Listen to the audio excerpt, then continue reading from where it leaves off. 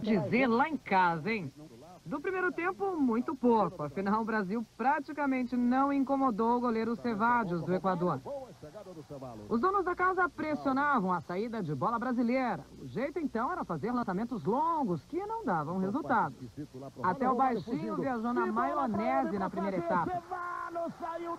Com essas e outras, os equatorianos iam colocando as manguinhas de fora.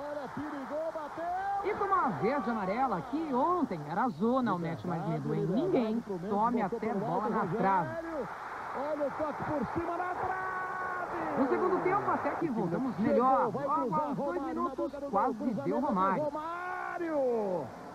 É, mas a ducha gelada veio na sequência com Caviedes tirando nossa zaga para dançar. Foi, foi.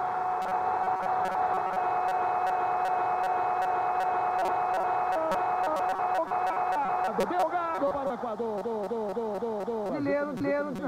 de vez. Não tinha Cristo que aturasse os erros de passe do Brasil. Mesmo assim, chegamos a assustar. Adivinha com quem? A partir daí, a goleirada quis mostrar serviço, mas ficamos no quadro. Bateu pro gol do cantinho.